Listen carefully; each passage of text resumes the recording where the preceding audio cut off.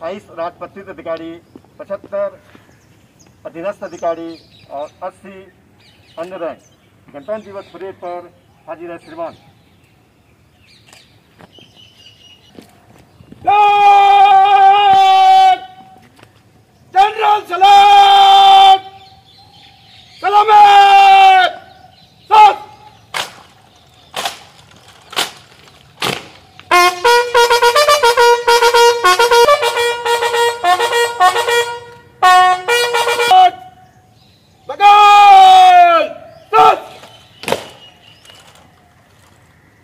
Lord direction के लिए हाजिर है समान